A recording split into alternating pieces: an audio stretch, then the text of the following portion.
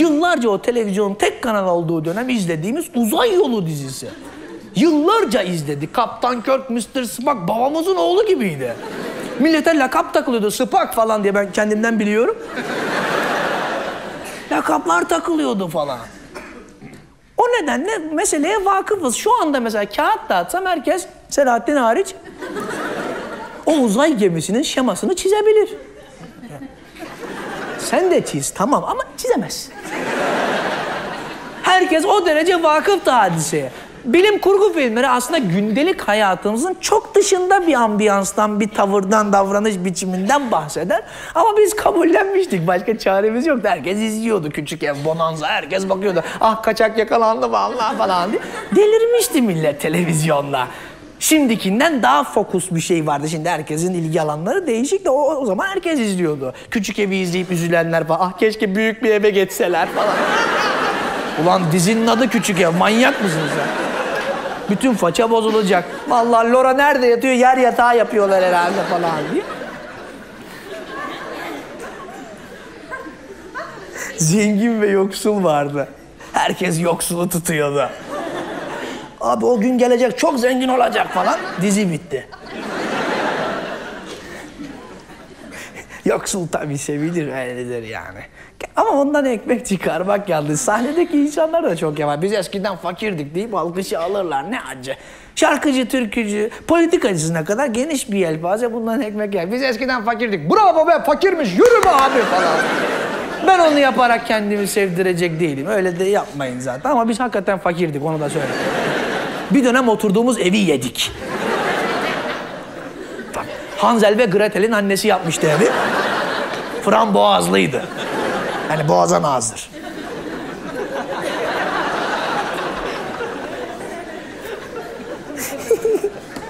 Çok fakirdik ya valla. Valla havyarı elle yiyorduk. Çatal bıçak yoktu evde ben. O derece. Valla. Ben 6 yaşıma kadar doğmadım. Masraf olmasın diye 7'den başladım. Bebek bezi pahalı olduğu için.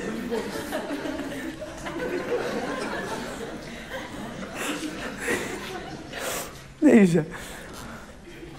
İzliyorduk dizileri ve kabullenmiştik ve bir tevekkülle izleme durum vardı. Kabul ediyorduk. Oradaki ambiyans çok yabancıydı bize. İşte uzay gemisi düşünsene yani her gün içinde gezdiğim bir şey değil. Ama o diziyi çok sık izleyip kabullenince aşina geliyordu her şeye. Lazer göç ünitesi, bilmem ne birimleri, hede hede kalkanı falan gibi. Herkes bakıyordu. Uzay tabii lazım. Ona enerji verecek ki gidecek falan diye. Herkes kabul ediyordu. Ve alet edevat çok garipti ya. Lazer güç ünitesi bilmem ne pompası. Böyle, yani görkemli isimleri vardı ama aletin kendisi tıraştır. Yani adam gelip söylüyor. Kaptan, lazer güç ünitesinde problem var. Vallahi. Ulan dört tane ampul var orada. İkisi kırklık, biri altmışlık, biri yüzlük. Altmışlık yanmış, değiştirin. Ve devamlı o alet edevatla oynama vardır, meşhur. Şu sıralarda tekrarını veriyorlar bir kanalda. Uzay Yol dizisini izle. İki ana karakter önünde konuşurken figürasyona bakacaksın. Onlar devamlı aletlerle oynar. Devamlı. Ve hep gözü kameradır. Acaba ben de çıkıyor muyum lan? Zaten Bonanza'da az görünüyorum. Devamlı aletle oynar ama devamlı yani. Ulan bu geminin bir ayarı yok mu? Lan bunu yapın gidelim. Kaptan gemi yalama oldu abi. Tutmuyor diye.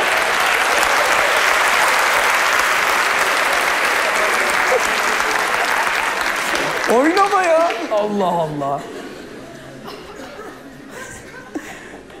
Garip bir ambiyansı kabul etmiştik diyorum ya. İşin kompetanı olanlar oldu ya. O uzay filmlerinde hep gemide bir problem çıkar. En büyük tatava budur zaten. Yani her hafta uzay gemisinde problem çıkar. Denir ki işte lazer güç problem var. Herkes izleyen şey diyordu. O kesin meme yapmıştır anam. Onu böyle bizim para ojeleyeceksin tık. Herkes biliyordu her şeyi.